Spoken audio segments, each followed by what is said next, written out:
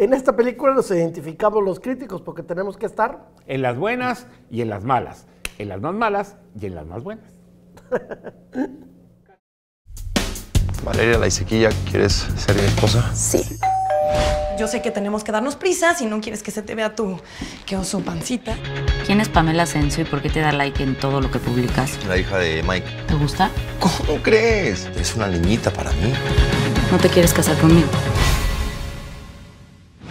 Pues entonces deja de estar chillando y vela a buscar. No me contesta los mensajes. La llamé un millón de veces y tampoco me contesta.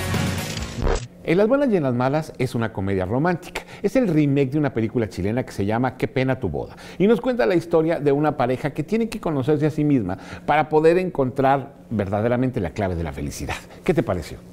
La verdad es que me sorprendió, forma parte de una trilogía chilena, la primera Qué pena tu vida también se hizo aquí y la verdad es que no funcionaba porque no era chistosa. Y en este caso, ya revolcada y contada de esta forma, funciona por su elenco.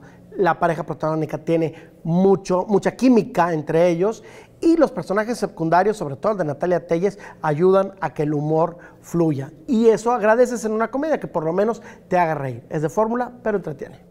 A mí me gusta porque detrás de toda la, parte de la comedia, digamos, hay una reflexión muy, muy a todo dar sobre la relación de pareja. Creo que está bien planteada, el ritmo es muy bueno, es una película que sientes que te está contando algo que no quieres que se acabe, que te gustaría que de repente fuera como una serie de televisión para seguir viendo más de estos personajes. Y de alguna manera te importa que, que la pareja protagónica, que son marido y mujer en la vida real, estén juntos. Y eso es lo que hace una comedia romántica lo que debe ser, ¿no?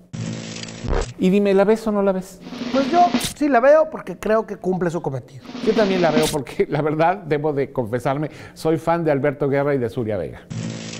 Antes de despedirnos, les queremos recordar que queremos estar en contacto con ustedes. Entonces síganos a través de nuestras redes sociales. En Twitter estamos como arroba la veo no la veo. En Facebook estamos también como la veo no la veo. Por favor, suscríbanse a este canal, regálenos una manita para arriba, comenten todo lo que tengan que decirnos sobre esta película y compártanlo con sus cuates.